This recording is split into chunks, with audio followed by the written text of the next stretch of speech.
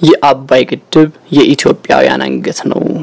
አምባሳደሩ እንደተናገሩት የአስራ ሁለተኛ ክፍል ሀገር አቀፍ ፈተና በትግራይ አቶ ስብሀት ነጋ በግል ሐኪማቸው እንዲታከሙ ፍርድ ቤት አዘዘም። በዝርዝር የምንመለስበት ይሆናል። የአምነስቲ ሪፖርት የኢትዮጵያና የኤርትራ ምላሽ ለአምነስቲ ኢንተርናሽናል።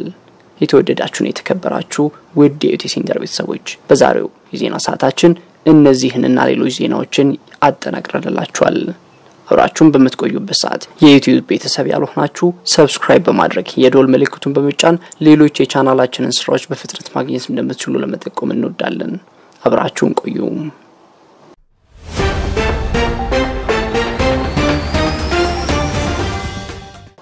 የአባይ ግድብ የኢትዮጵያውያን አንገት ነው።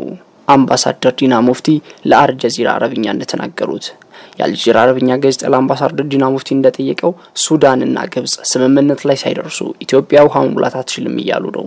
በዚህ ጉዳይ ላይ የኢትዮጵያ አቋም ምንድን ነው ተብለው ሲጠየቁ አምባሳደር ዲና የአባይ ግድብ የኢትዮጵያውያን አንገት ነው። ከአንገት ቀጥሎ ጉሮሮ ነው ያለው። ጉሮሯችን ውሃ የሚቀበለው ከምላሳችን ነው። ምላሳችን ውሃ ማግኘት የሚችለው ከአፋችን ነው። የአባይ ግድብም ለኢትዮጵያውያን እንዲሁ ነው ሲሉ ተናግረዋል። በሚቀጥለው ነሐሴ ወር አልሞላንም ማለት አንገታችንን ቆርጠን ጣል ነው ማለት ነው። ማንም በአንገት እንደማይደራደር ሁሉ ኢትዮጵያውያንም በአባይ ግድብ ጉዳይ ለደቂቃም ቢሆን አንደራደርም ሲሉ ተደምጧል። ግድቡም ይሰራል፣ ውሃውም ይሞላል። የኢትዮጵያ አቋም ይህ ነው። የአስራ ሁለተኛ ክፍል ሀገር አቀፍ ፈተና በትግራይ በትግራይ ክልል የአስራ ሁለተኛ ክፍል መልቀቂያ ፈተና የሚወስዱ ተማሪዎች በልዩ ሁኔታ ለመስጠት ዝግጅት መደረጉን የክልሉ ጊዜያዊ አስተዳደር ትምህርት ቢሮ ገለጸ። የቢሮ ምክትል ኃላፊ ኢንጂነር አስቴር ይትባረክ እንዳስታወቁት በክልሉ አስራ ሁለት ሺህ ያህል የአስራ ሁለተኛ ክፍል ተማሪዎች ይገኛሉ። በሀገር አቀፍ ደረጃ ከየካቲት 29 2013 ዓ ም ጀምሮ የሚሰጠው የአስራ ሁለተኛ ክፍል መልቀቂያ ፈተና የክልሉ ተማሪዎች በትግራይ በሚገኙ አራት ዩኒቨርሲቲዎች ተገኝተው ፈተና እንዲወስዱ ዝግጅት ተደርጓል ብለዋል። ተማሪዎቹ በመቀሌ፣ በአክሱም፣ በአዲግራትና ራያ ዩኒቨርሲቲዎች እስከ የካቲት 23 2013 ዓ ም ድረስ በአካል ቀርበው ሪፖርት እንዲያደርጉ ቢሮ ጥሪ ማድረጉን ገልጸዋል። ባለፉት ወራት የመማር ማስተማር ሂደት ባይኖርም ተማሪዎች ቀደም ባሉት ዓመታት የትምህርት ዝግጅት እያደረጉ በመምጣታቸው አስራ ሁለተኛ ክፍል መልቀቂያ ፈተና እንዲቀመጡ ያስችላቸዋል ብለዋል። ተማሪዎች ቀድመው በዩኒቨርሲቲዎቹ በመገኘት ለአስር ተከታታይ ቀናት ያህል ዝግጅት እንዲያደርጉ እድል መሰጠቱ ኢንጂነር አስቴር ማስታወሳቸውን ኢዜአ በድረገጹ አስፍሯል። አቶ ስብሀት ነጋ በግል ሐኪማቸው እንዲታከሙ ፍርድ ቤት አዘዘም።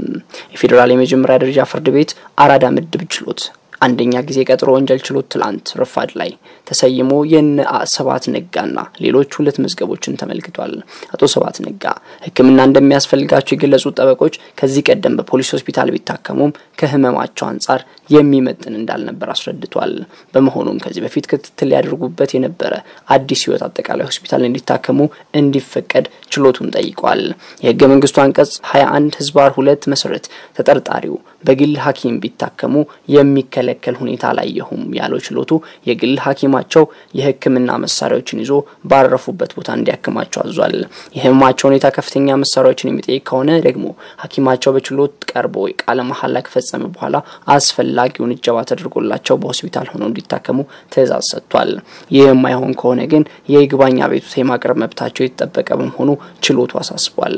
በሌላ በኩል የፌዴራል ፖሊስ ባለፉት የምርመራ ቀናት የ85 የአምስት ምስክሮችን ቃል መቀበሉንና የጦር መሳሪያዎችን ማሰባሰቡን በችሎቱ ገልጧል። ሆኖም ተጨማሪ የምርመራ ስራዎች ስለሚቀሩት 14 ተጨማሪ ቀናት ጠይቋል። የተጠርጣሪ ጠበቆችም ምርመራው በጅምላ መሆኑን የለበትም በማለት ተቃውመዋል። ይሁን እንጂ ይህ ሁሉ ጊዜ ለምርመራ ከተሰጠ በኋላ አሁንም በጅምላ ጊዜ ቀጠሮ መጠየቅ የለበትም ብለዋል።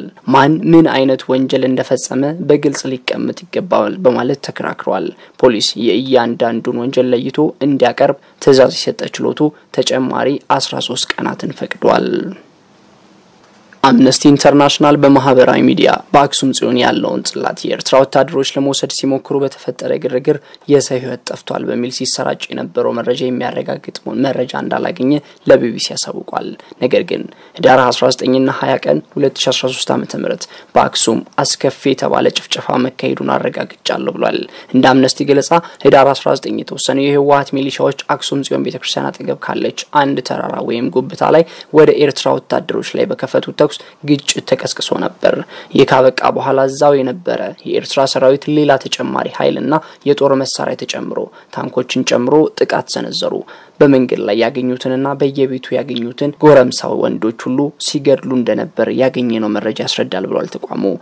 በማግስቱ ህዳር 20 ይህ ድርጊት ቀጥሎ ነበር የሚለው አምነስቲ አስከሬን ማንሳትም አይቻልም ነበር። ህዳር 21 2013 ዓ ም በአክሱም ጽዮን ክብረ በዓል ነው እንዲቀበሩ የተፈቀደው ብሏል። አምነስቲ በ21 ትልቅ ግድያ እንደነበር የሚያስረዳ ነገር የለም። ይልቁንም አስከሬን መቅበር የተጀመረው በዛው ዕለት በ21 መሆኑን በማህበራዊ ሚዲያ ሲሰራጩ የነበሩ መረጃዎችን ውድቅ የሚያደርግ መረጃ ሰጥቷል። የውጭ ጉዳይ ሚኒስትር በአምነስቲ ሪፖርት የሰጠውን ምላሽ እንደሚከተለው እናቀርባለን። የኢትዮጵያ ውጭ ጉዳይ ሚኒስትር አክሱም ከተማን በተመለከተ አምነስቲ ኢንተርናሽናል ያወጣውን ሪፖርት በተጠቀመው የመረጃ ምንጭ ፍትህን ለማስፈን ዓላማ አይጠቅምም ሲል ገለጸ። ተቋሙ ለመረጃ ምንጭነት የተጠቀመው በምስራቅ ሱዳን በስደተኛ መጠለያ ጣቢያ የሚገኙ ሰዎችን እንዲሁም ውስን የአክሱም ነዋሪዎችን በስልክ ቃለ መጠይቅ በማድረግ የተሟላ ምስል ለመያዝ እንደማያስችል ገለጸ። አምነስቲ ኢንተርናሽናል ያወጣው ሪፖርት አስመልክቶ የኢፌዴሪ የውጭ ጉዳይ ሚኒስትር ባወጣው መግለጫ ህወሀት በኢትዮጵያ መከላከያ ሰራዊት ላይ November አራት ቀን 2020 ያደረሰውን ጥቃት ተከትሎ በትግራይ ክልል የህግ ጥሰትና ስርዓት አልበኝነት ተፈጥሯል ብሏል። በክልሉ ውስጥ የተከሰቱ ውስብስብ ችግሮች ህወሀት የፈጸመው የክህደት ተግባር ቀጥተኛ ውጤት እንደሆኑ ገልጾ በክልሉ ለተፈጠሩ የህግ ጥሰቶች ኃላፊነቱን መውሰድ ያለበት አካል ከህወሀት ውጭ ማንም የለም ሲል በመግለጫው አመልክቷል። የህወሀት ጥፋት ቡድን በመከላከያ ሰራዊት ላይ ጥቃት መፈጸሙን ተከትሎ በግድያና በሌሎች ወንጀል ድርጊቶች መሰማራቱንም አስገንዝቧል።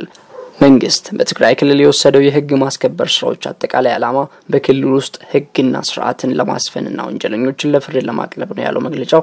ወንጀለኞችን ለህግ ለማቅረብ የተካሄደው ዘመቻ በሲቪሎችና በሲቪል ተቋማት ላይ ጉዳት እንዳያስከትል ከፍተኛ ጥንቃቄ መደረጉን አውስቷል።